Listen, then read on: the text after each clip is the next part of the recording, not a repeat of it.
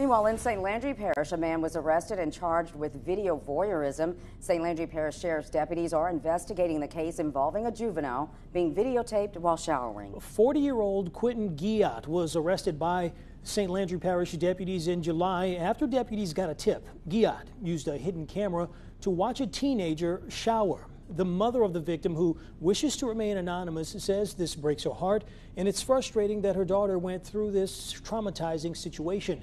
News 10's Jasmine Dean has details. It's one of those things that I was not able to protect my daughter. The mother of a 15 year old girl is speaking out after she says her daughter was videotaped while taking a shower by a family member. 40 year old Quentin Guillat of St. Landry Parish was arrested and charged with video voyeurism of a juvenile. That's something that I have to live with for the rest of my life. And she has to live with what happened for the rest of her life. According to the victim's mother, Guillat was arrested in July and released after posting bail. It's even harder knowing that as of right now, there has been no repercussions for what he has done.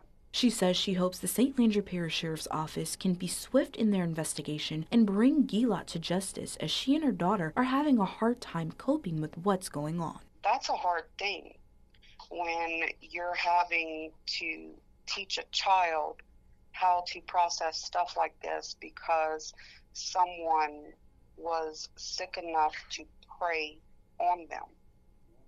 The victim's mother says she wants justice for her daughter because it's affecting her and how she is processing what happened. She says she wants parents to be aware of the people that are around their children because things like this could happen with family members like hers. Even when it comes down to family, check everything.